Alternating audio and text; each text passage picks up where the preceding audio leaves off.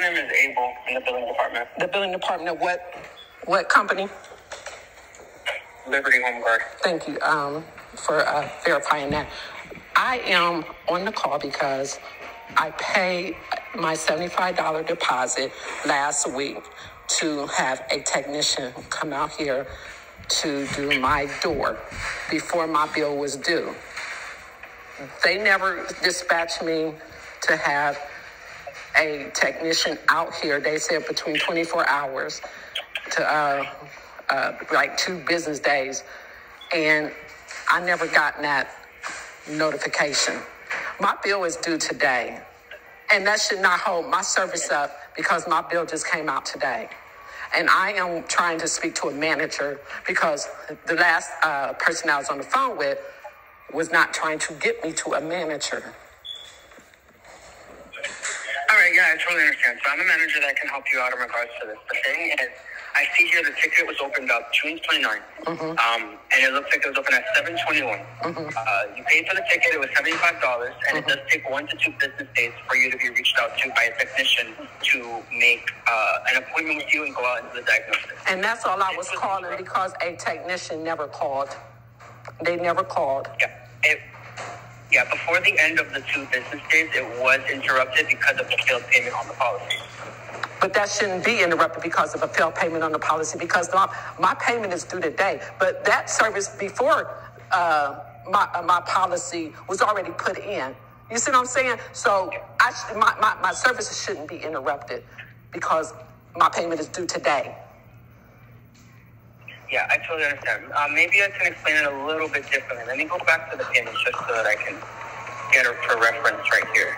And that's one thing you don't really uh, uh, really mention when when you're trying to get our services like that.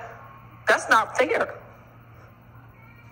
Okay, I understand. There seems to be a little bit of confusion, but I'm going to try and explain it to you as best as I can here. Uh, so I see here a payment. It was for, it looks like June 3rd, Friday. The payments are scheduled for the uh, 3rd of every month.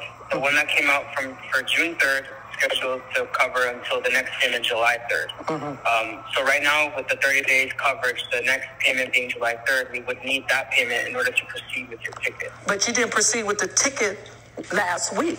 And that's what I'm saying. You do not hold up services be, because my payment wasn't even due when I put my order in. And that is not fair that you're holding my money up like my, my services up like that. Because you should have been having somebody now calling me while I make my payment. You know what I mean? Don't hold my services up like that because it's very unfair. That is unethical to even do that. Right, I do understand why you feel that way, but right now you do have an ineffective or a policy because of the, the payment. That's that's my payment is due today, sir. I paid on my services last week. Policy. Exactly. But we need the payment today for this next month policy in order for you to have an active policy. Right now, your policy is not active. So we can't proceed with your ticket with an ineffective. Well, what, what you can do is give me my seventy-five dollars back, and I'll go find another company. That's no problem. I can definitely cancel the request for you Yo, to get your refund. yo, give me my refund, put it back on my card, and have a nice day. So I'm gonna need that comfort, com, I mean that uh, reference number to do so. What do you mean by that? What reference number? I'm The- the- to send you the- an email. Oh, okay. Email uh, confirmation of the of the cancellation, Mm-hmm. and I'm going to put in the request here to get the PCF refunded to you as well. Uh, say that again. I'm going to go put in the request for the PCF to be refunded to you, and I'm going to send you an email of the policy cancellation. Okay, I appreciate your time. All right, thank you. Have a great rest of your day. Uh-huh, bye.